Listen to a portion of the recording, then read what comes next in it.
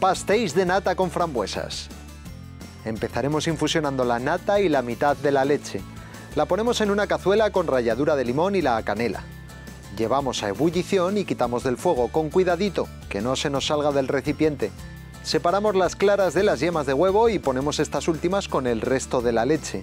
Agregamos la maicena, el azúcar y varillamos para que quede bien integrado, sin grumos.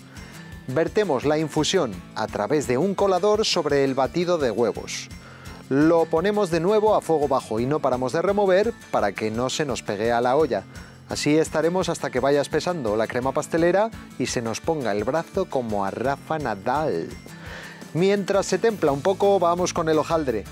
Extendemos la placa de hojaldre sobre la mesa y le ponemos encima la canela molida. Enrollamos para hacer un rulo que iremos cortando en rodajas de unos 2 centímetros aproximadamente. Chafamos estos rulos con la palma de la mano para dejarlos fino. Pondremos cada rulo en un molde de silicona, previamente mantequillado para que no se nos pegue.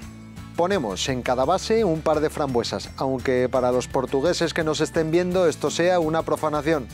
Como esta es nuestra versión, nos permitimos el sacrilegio. Rellenamos cada molde con la crema pastelera y los metemos al horno a unos 250 grados para que se cocine el hojaldre y la crema se dore. Los presentamos con un poco más de azúcar glass. Venga, por si os parecía poco dulce el postre. ¡Buen provecho!